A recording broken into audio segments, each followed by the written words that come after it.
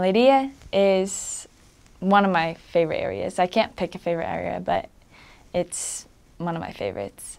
So the the ward actually is full of Brazilians. It's probably 75% Brazilian. Um, and I love Brazilians. They're super awesome. So they're they're very helpful, and they're just so excited about helping missionaries, about helping with the the missionary work there.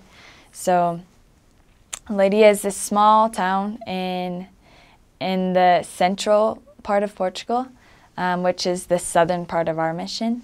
So I spent six months there. I spent four transfers there, which is a super long time, but I wanted to stay even longer because I loved it so much.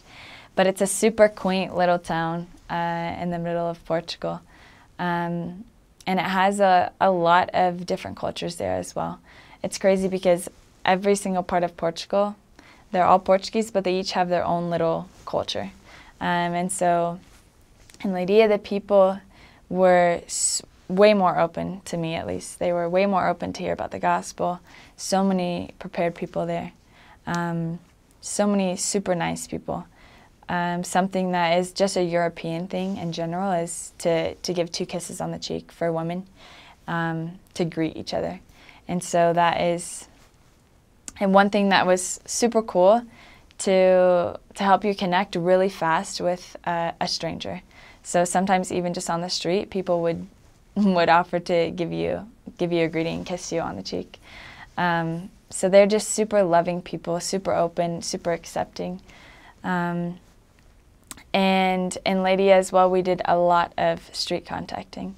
But towards the end, we we started working a lot with members. And the members, if you work with them, they will work with you. They just don't know how.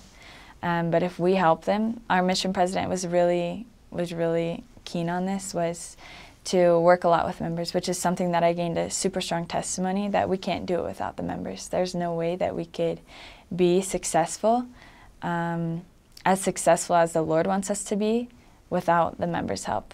So, towards the end of my six months there, probably four, three months into it, halfway in, we finally started getting the hang of working with members, and the members just went crazy they just started helping us, bringing investigators to church left and right, inviting us to come over to teach their friends.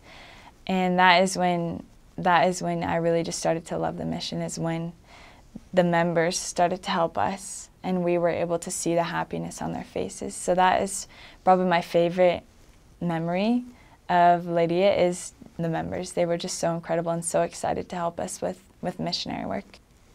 Leiria is has a special place in my heart. I love Leiria so much. Um, the companions that I had, the members that were there, the investigators that we have there, just so nice, so loving, um, so welcoming. And it just, it was at the very beginning of my mission, my second area, which I only stayed in my first area for a transfer. So it was basically the very beginning of my mission. And it just became part of me, Leiria. I love it so much.